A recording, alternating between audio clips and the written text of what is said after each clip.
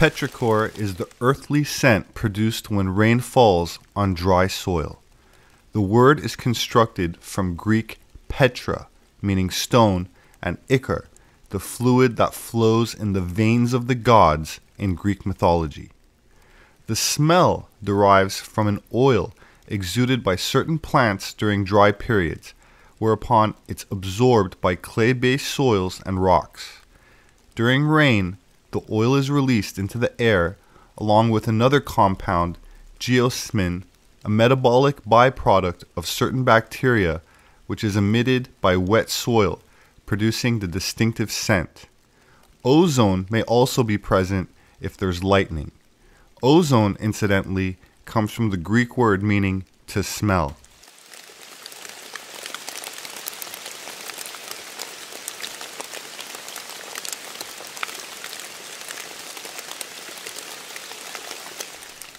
The Greeks proposed the existence of five basic elements. Of these, four were the physical elements fire, air, water, and earth, of which the entire world is composed. The fifth element is sometimes called spirit, or ether, or quintessence, which literally means the fifth element in Latin. In traditional Western occult theory, each element also has two qualities, and it shares each quality with one other element. Each element is either warm or cold, and this corresponds with a male or female gender, where male qualities are things like warmth, light, and activity, and female qualities are dark, cold, passive, and receptive. Male warm elements point upward, female cold elements point downward. The element of water traditionally has a strong feminine connection associated with the goddess, with the inverted triangle used to symbolize water and can also be interpreted to symbolize the womb. In the Eastern Tantric tradition, in which women play a very special role, the inverted triangle represents the vulva, or yoni. Personified by the goddess Kali, who bore the title of Kunti or Kunda, root of the similar sounding Indo European or Aryan word that starts with a C. The Yoni yantra, or upside down triangle, was known as a primordial image, representing the Great Mother as source of all life. Water can also be represented by a circle with a horizontal crossbar, or by a series of three wavy lines. Many cultures feature water spirits as part of their folklore and mythology. To the Greeks, a water spirit known as a Naiad often presided over a spring or stream. The Romans had a similar entity. Water is the element of emotion and the unconscious the color blue, the moon or Venus, the zodiac signs Cancer, Scorpio, and Pisces, the fall season, the sunset, and the cup or grail.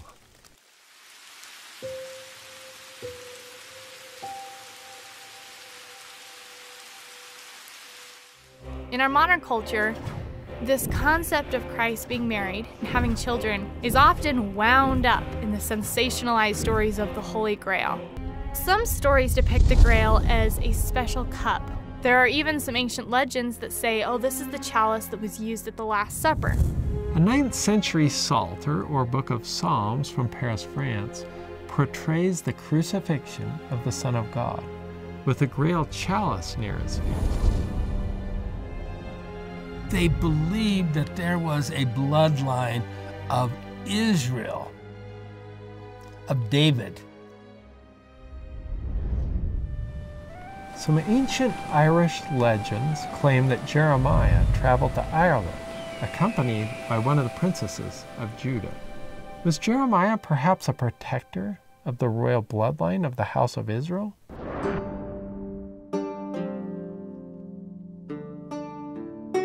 The legends of the Grail are wide and they're varied, and there is a sense of hidden mystery surrounding it. because even the famous stories of King Arthur and his knights the Round Table are related. Traditionally, Arthur and some of his knights are claimed as direct descendants of Joseph of Arimathea.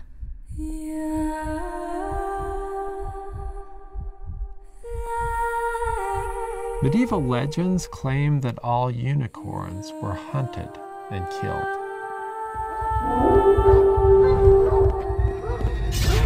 Only a few escaped and went into hiding. Is this an allegorical legend intended to lament the fate of the Lord's children? Were some of his descendants identified and put to death?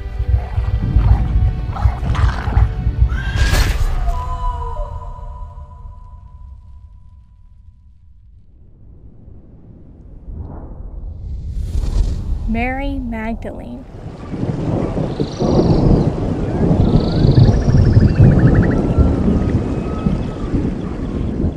There has been a considerable amount of speculation that the Grail refers to sacred bloodline, where some claim the Grail was originally identified as Saint Graal, meaning holy chalice.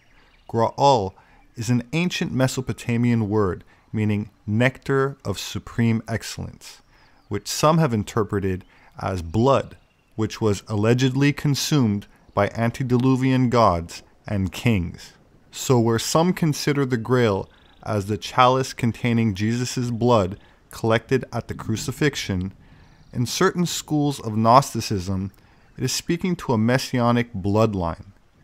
That said, esoteric interpretations also point to higher or refined states of consciousness as being the true secret of the mystery of the Grail.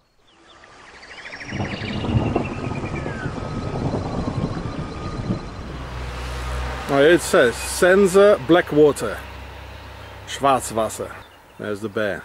There it is. So it says Blackwater. That's where it's from. It says again the Blackwater Bridge. There it says Grasburg, the Grass Castle. Well, grass doesn't make any sense. It must have been an L, like Grail's Castle. There it is. So I'm looking for the Grail's castle and uh, here is a the cave uh, where we go through and hope we find it. In German the thing is called Grasburg, it means grass, but it doesn't make any sense for a castle. Burg, it means a castle. Here in Switzerland, in the canton of Bern, that means the bear, as John saw it.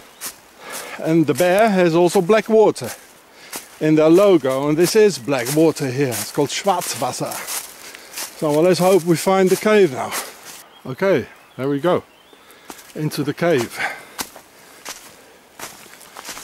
I hope we get out from the other side to the Grailsburg the Grail's castle so there we are at the other side oh there we got Isis chair look at it look at it Sisters of Isis they're here It's quite dripping here. So let's go and find the Grail's castle. Let's go. Probably do some uh, rituals here. Oh boy. Oh boy. So this is the tunnel where we came from.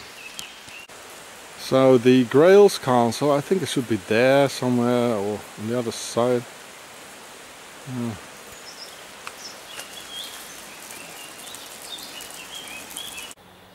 Well, that is, I suppose. It is.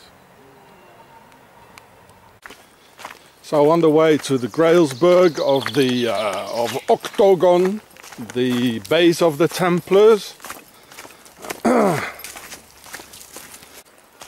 so on the way to the Grailsburg in Octagon, founded by the Templars. So if this country is founded by the Templars, as it is, then it must be the Grailsburg. They just left out the L to camouflage it, as everything in this country is being camouflaged and hid And this country was founded by the Templars, as I told you. Ah, there it is. This is the uh, the Grails Castle. These guys from Octagon, they already ruled uh, thousand years before the US was being born and founded. and they are ruling in the US, I'll tell you. Oh, I tell you, they do. And that's why they call it Blackwater.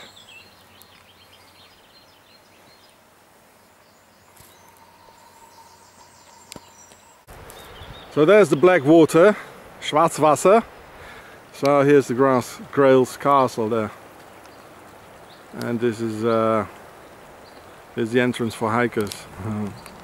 so there it is, Grasberg. That's the situation at 1500. I don't see very much in the LCD screen because of the sun. Uh, here is the uh, the history. So it really did start off during the cruise or just after the Crusades. I uh, mentioned that 1291 was the last crusade and uh, they founded Switzerland. Oh, going up the stairs here to the castle. Hello, you got coffee ready?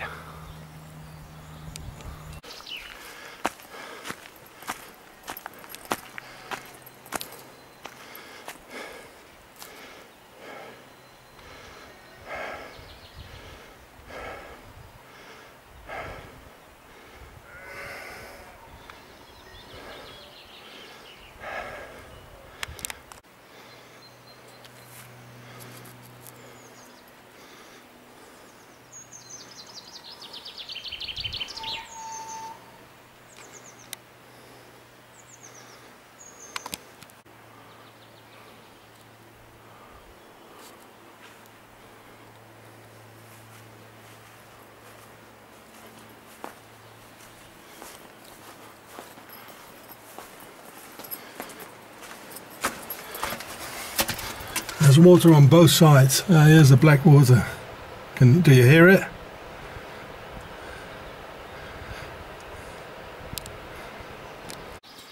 Well, the water seems to be uh, on all sides here. So there's the the Black Castle, the town, the Black Water.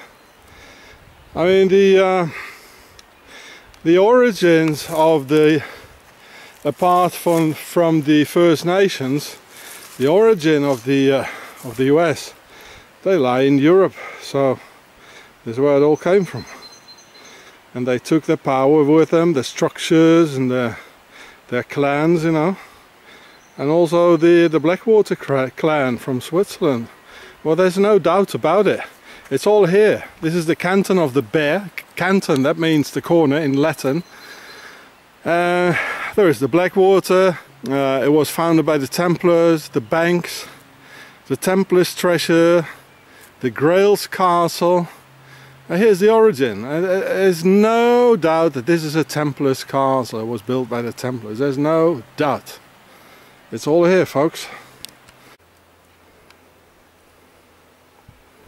The other end of the Grails castle. Some more water. The black water.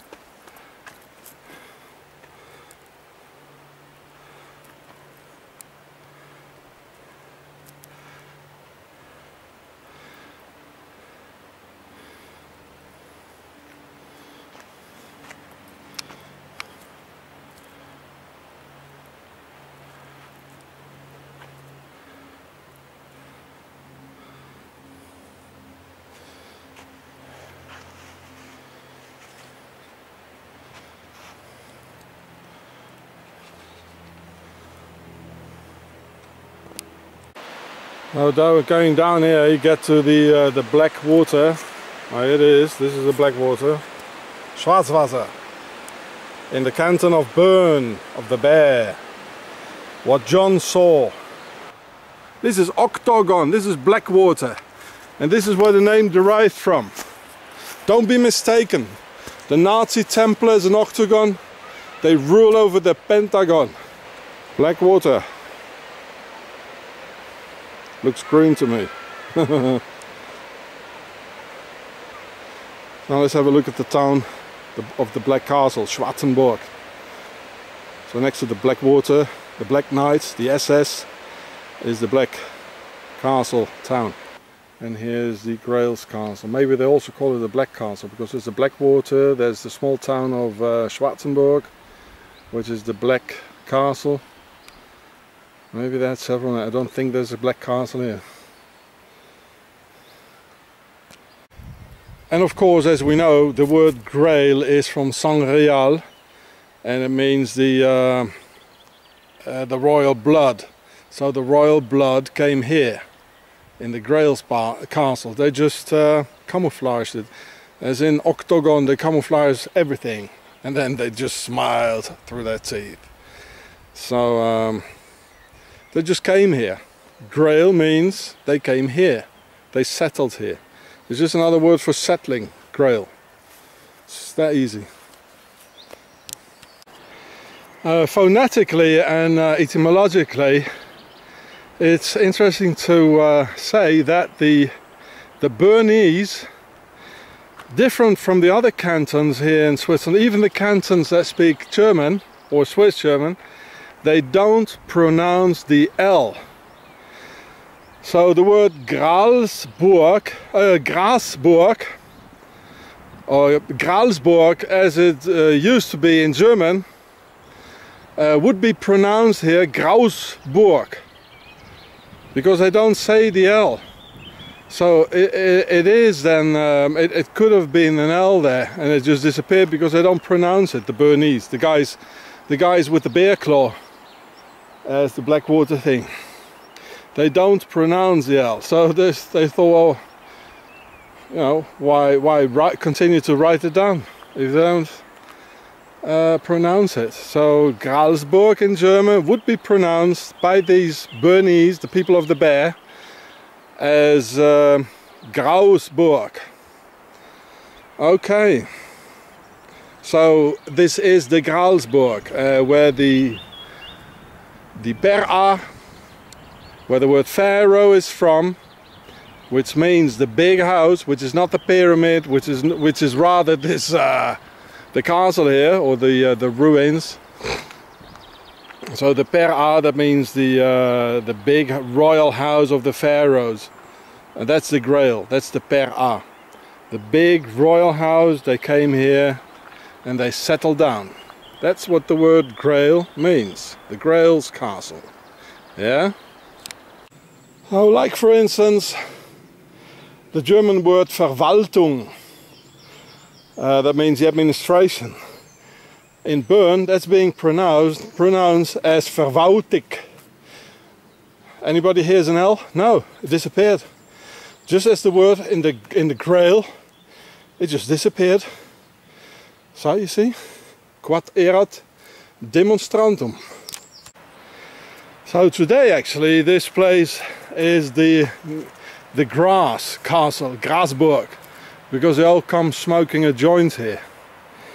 And uh, but in the Middle Ages, at the end of the Crusades, when they built it here, uh, there was no grass. Oh no, there were no lawns, no golf places or soccer fields. No way. It was all forest.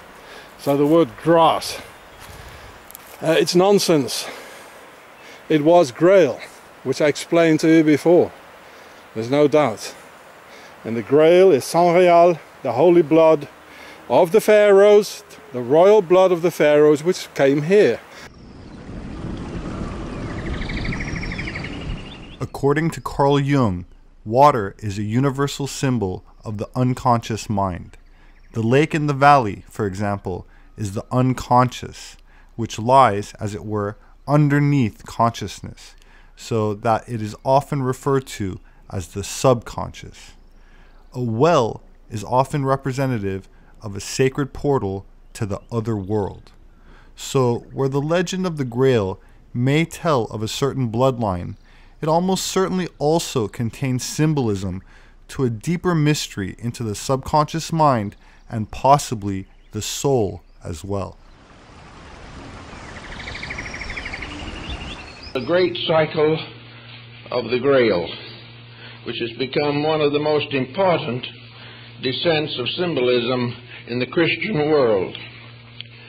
During the Romance period in Europe, there were a long group of troubadours, many poets, literary people, persons in almost every walk of life, religious and secular, who centered their patterns of living around what was called the, the legend of the quest, the search for the Holy Grail.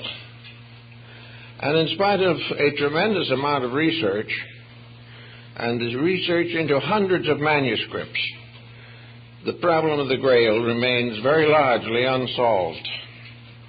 So this morning we want to approach it a little differently, not dogmatically, to see if we can see a little more of the influence of this tradition, not only upon the people of the 14th, 15th, and 16th centuries, but upon the world as it is today.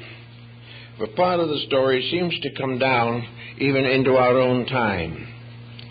Where it all began is quite unknown. Uh, probably it is pre Christian originally. It may have begun in Persia or Chaldea or one of the other nations of the Near East.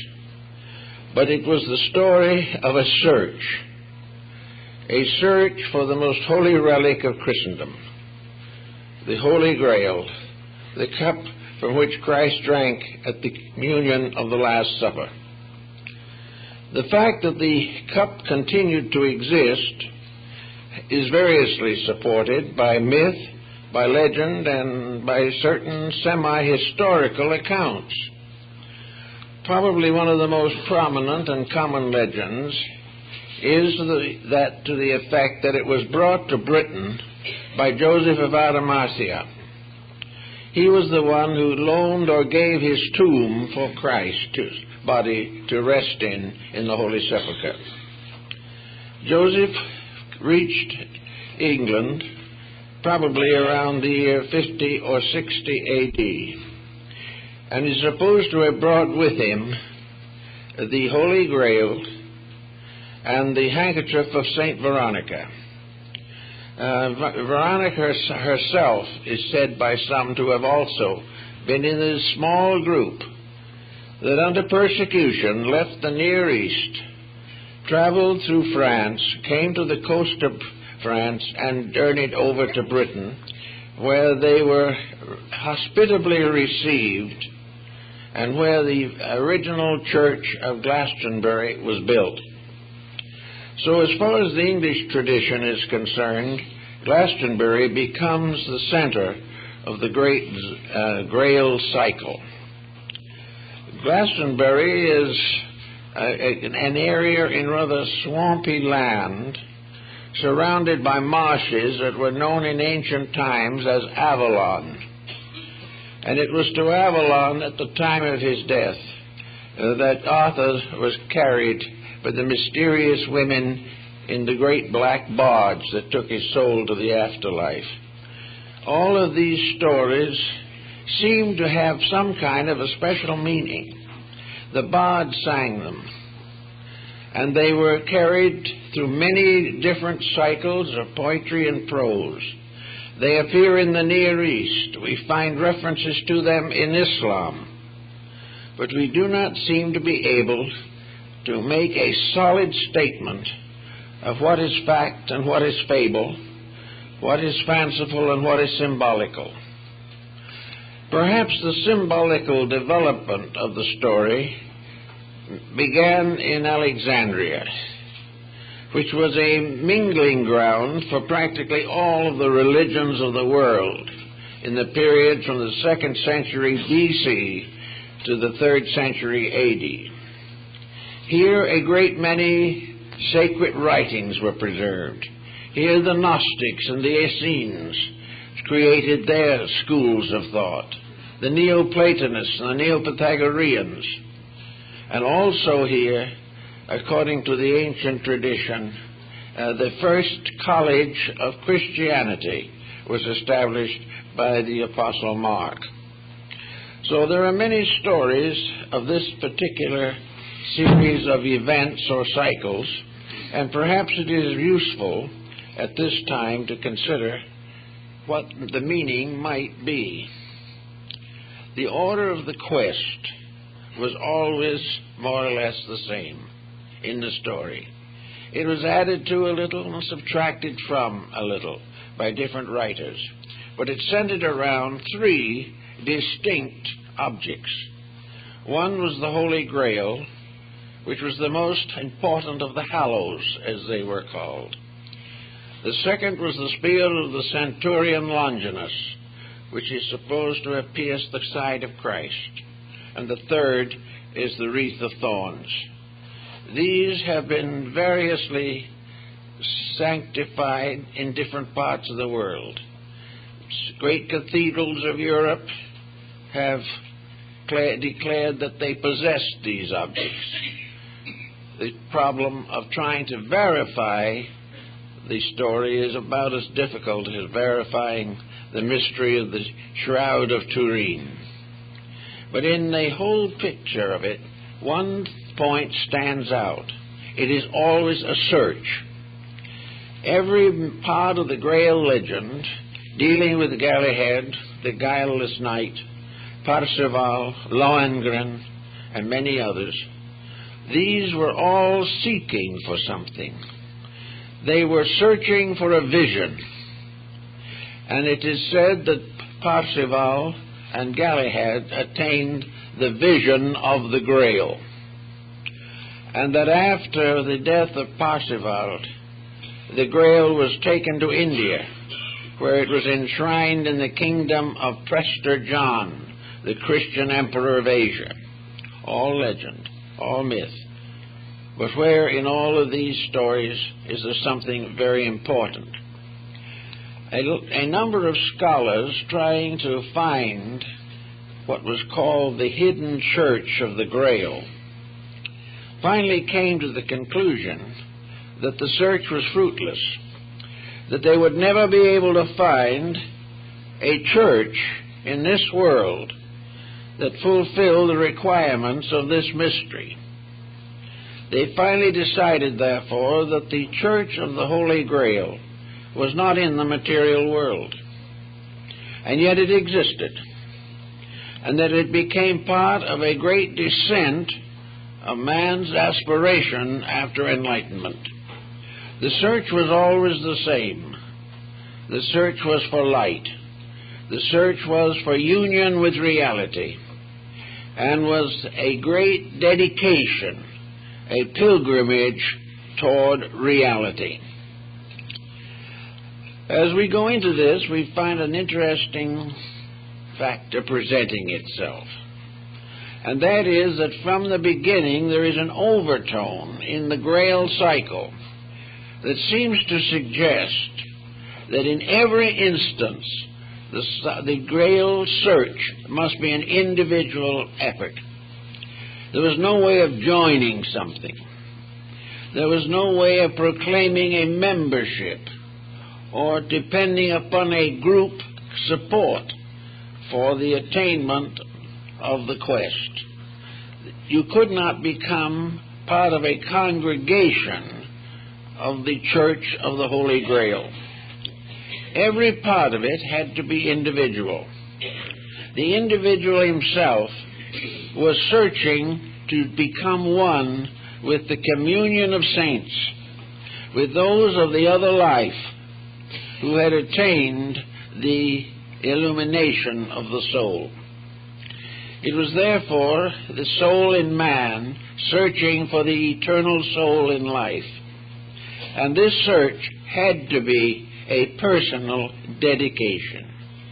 Those who achieved the search and finally beheld the grail, became a company apart, but they were never organized as an organization.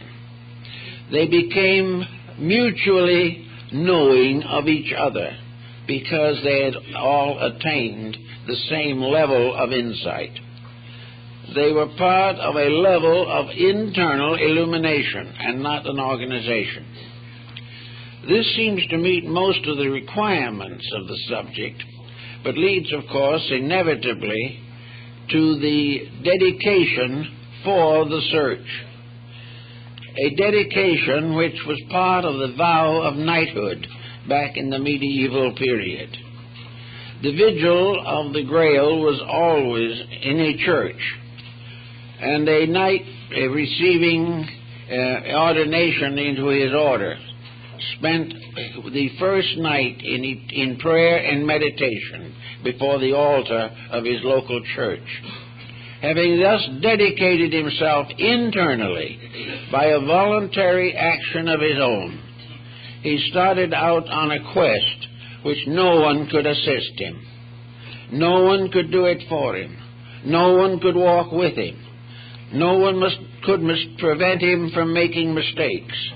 It was a lonely journey, a journey from illusion to light, from darkness uh, to participation in eternal truth.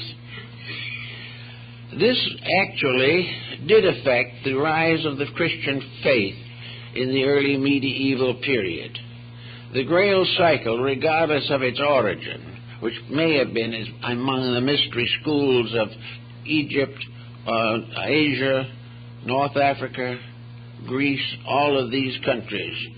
But wherever it began, it became a key to the religion that had no physical structure. A religion that was entirely subjective. A religion to which each individual made his own commitment. And having made this commitment, either succeeded or failed. In either case, alone. Therefore, perhaps the entire quest of the Grail is best summarized in the words of Plotinus, who observed on occasion that the way to truth was the journey of a lonely person to that which is eternally alone. It was this aloneness that seems to have been the power of the Grail. Each individual had to call entirely upon his own internal resources. He had to train himself, he had to dedicate himself, he had to consecrate himself. He had to master one by one the weaknesses of his own flesh. He had to overcome the pressures and temptations of ambition and avarice. He had to purify his own nature by a vow taken only to the very highest part of himself. He must slowly climb that mountain between his own material nature and the attainment of the enlightenment of his inner soul. It's a very interesting concept and probably has never been fully explored, except that there are records and indications that certain persons apparently achieved this tremendous dedication.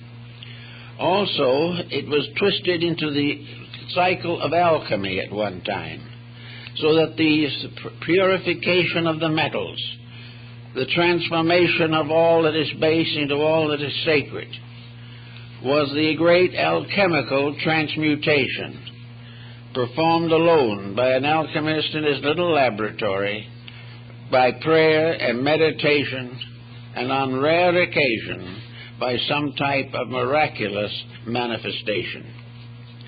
To the Grail cycle, the miraculous was an internal mystery. It did not deal with the commonplace of life. Miracles did not interfere with the workings of universal law.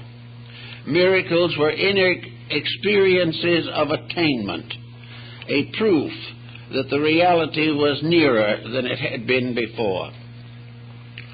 The problem of the origin of the Grail again has a great many legends associated with it. One legend says that it was carved from the crest jewel of the archangel Lucifer when he fell from heaven. Others say that it was part of the basin of consecration found in the ancient rites of the tabernacle in the wilderness. Some believe that it was the ecstatic cup of Bacchus or Dionysus in Greece.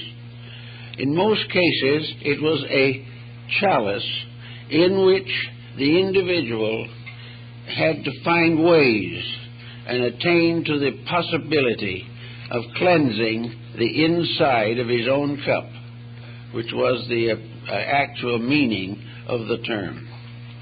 Now, in doing this thought, or living this way, we find that there arose in North Africa and in early Christendom a teaching that was to become very important in the life of people. And this teaching was the cultivation of the power of internal visualization. In other words, the individual gradually transformed these ideals into inner pictures. These pictures, like the Oriental mandalas, were visualizations of a superior state of being, visualizations which impel the individual to fulfill them or to achieve the mysteries which they represented. And uh, in some of the old English block books and on the continent also, the uh, city of the Grail, or the Church of the Grail, is placed at the at the top of uh, top part of the great Ptolemaic system of the solar system. You climb the ladder of the seven planets to reach the entrance of the secret house.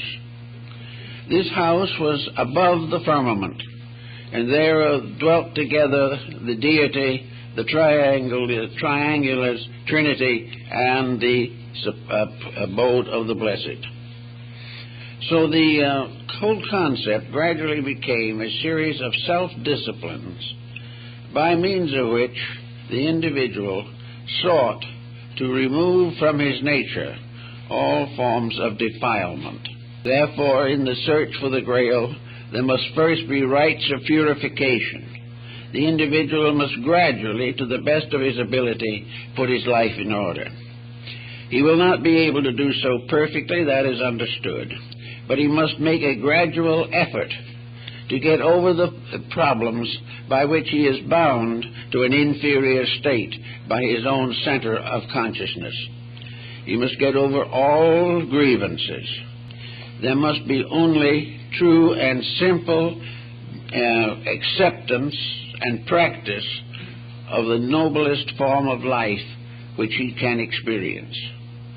Now, if by this type of problem or this type of living, he gradually overcomes the major weaknesses of his own nature, he gradually comes into a state of internal tranquility and tranquility is the open door to the sanctuary of the Grail. Tranquility means peace with reality. It means that the individual accepts without question the true teachings of his religion, whatever it may be, and lives it without restriction or compromise. He must have, therefore, the ability to quiet all of the confusions which beset the average person. Now, confusions are very often things that cannot be overcome easily. Sometimes a life is harassed to the degree that it would not appear that the individual could make a new start in his own inner life. But he can if he will.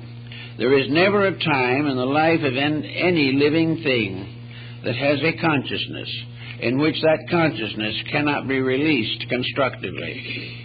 It is a matter of willingness to be dedicated.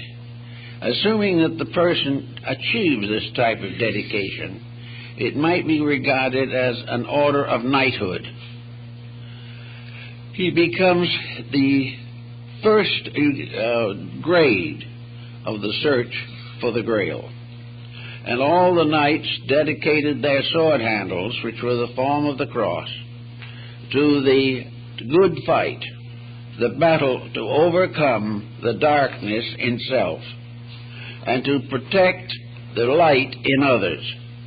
The Knights of the Garter and so forth were always out protecting people in distress and saving the maiden who was in the hands of the villain. The maiden was the soul, which is always in the hands of the villain until the individual redeems himself. So the knighthood of the Grail began by this proof of courage, proof of integrity. The uh, no, young knight did not know what he was going to find. He had no promise that he would find it. He was simply told that his hope was to only through the conquest of himself, that no one else could help him, and all the prayers in the world could not bring him the peace that he had to earn by the development of his own character. And he might pray for character, but if he did not have the courage to live it, it would not come to him. So, having gone through all these problems and coming finally to the Gnostic quietude, the individual lacks none of the needs of life, but has an inner tranquility in which he lives in this world but not of it. He performs all the duties that are his proper responsibilities in life. All effort to escape responsibility is treason as far as the way of the grail is concerned. Having come to this point, then, he settles down to the next step of his growth, namely, what the Oriental has always known the meditative arts. When we relax, we have all kinds of negative thoughts. We worry, we're frightened, we're concerned, we're disappointed, we're disillusioned. We think of the people who have mistreated us and how the world is failing us in our needs. So, to the person who is not self disciplined, relaxation and quietude just end in misery, which is what is intended because there is no way in which we can accomplish the purpose until we are able to see within ourselves that we have conquered these mistaken points of view. So, by degrees, the individual gains the ability to relax and be quiet.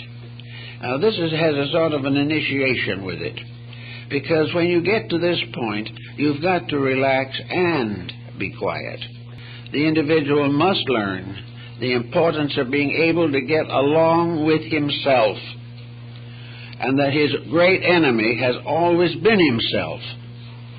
And until he conquers that, he can go no further. The descent into limbo represents the individual cleaning out his own subconscious with which he has to live. It is either a paradiso or a purgatorio according to how he has trained it. If he is selfish, his internal subconscious conscious isn't worth living with. In fact, it would be very hard to live with it. And yet we go along day by day, failing to realize that we are building a toxic subconscious, that we are building an internal life and the only way we can escape from it is keep our objective consciousness so busy that we have no time to think about the facts of life. We can get, only be comfortable, so to say, if we can get our minds off of ourselves. And usually we find some useless way of doing it. For instance, when we can't stand ourselves any longer, we turn on the television, and as a result of that, our punishment is magnified. and as he gradually gets rid of this load of pressures within himself, he begins truly to clean the inside of his own cup. And having attained as far as he can go in this, he will discover that when the inner consciousness of his mind and emotions are at rest, he will for the first time begin to experience the mystery of the invisible source of life. He will discover the teacher self when he is able to overcome the false teachings which he has permitted to uh, overwhelm his life. All these things have to be worked out. by those who are going to seek for the mysterious crusade for the grail, who are going to search for the cup of eternity. So this brings the individual to the next general feeling. From the purification of himself comes also then uh, the strengthening of his inner realization of deity. After this, we come to the truly meditational uh, problem. Having cleansed the heart and mind from all traces of ulterior attitudes, the individual can, for the first time, come into the state of prayer. Prayer up to that time is just a conversation, usually with the lower part of yourself. But when that part is no longer there, prayer became, becomes a contact with the highest inspirational levels of consciousness. And because these inspirational levels have the power to perfect or rationalize or make whole all the disasters of the flesh. Prayers are answered by the constant increasing of the divine consciousness within the person. Little by little, the, the divine takes over. And where the divine takes over, there is no longer any need for prayer because the individual lives constantly in the light of God. So the gradually the, the Church of the Holy Grail concept is the person gradually becoming part of an assemblage of the enlightened. This assemblage of the enlightened we find in the mythology of Egypt and of Greece and of most ancient peoples. Like the mysterious mountain in the tablet of Cebes, the person rises finally to a mysterious and wonderful castle on the top of the mountain. This is the castle of the inner life, the consciousness. This is the castle that is referred to in, al- in alchemy as the shut, uh, the shut palace of the king. It is the divine acacia, the place of wisdom, love, and veneration. So little by little we climb up do what in the Buddhist philosophy means that we ascend to the level or degree of bodhisattvahood. So little by little, the conquest of self brings with it the only true happiness that exists in this world. And this happiness does not exist completely in this world, because it comes to those who, while they live in this world, have attained an understanding and insight of something higher and more wonderful. Now, the story of the cup, of course, has a series of meanings. The cup is the sangreal, or the holy cup, or the sangre real, which is the container of the blood of Christ. It also has been represented in various forms. If it was a pewter cup or clay cup, which Christ drank from, it was probably long forgotten and broken. But the symbol of it is eternal. Here is the cup which contains the ever flowing blood of consciousness. It is the quest for the everlastingness which is behind all things as an attribute of deity. The mystic, therefore, very often says uh, that he does not die, that when the time comes for him to depart from this life, some mysterious miracle occurs and he doesn't die. The physical interpretation of this is very, has very little substance in reality. The, the only one who didn't and cannot die is the one who finally was the eternal itself. Therefore, all things have their comings and their goings. But the alchemist and the mystic is, was taught that the transition from this world to the next is not a death, and the perfect acceptance of life overcomes the illusion of the reality of death. In other words, that in which life exists may be transformed, the body of it may be changed, the life may be incorporated into other creatures, but life itself cannot die. The life in the individual cannot die but it can depart from the body. But this departure is not death. It is transition into another dimension of space. My name is Robert Sepehr. I'm an anthropologist. I'm sorry this one was so long. Please check out my published work on Amazon. Kindly share this video. Please subscribe. Please don't forget to leave a comment. Thank you very much for watching, and I will see you again very soon.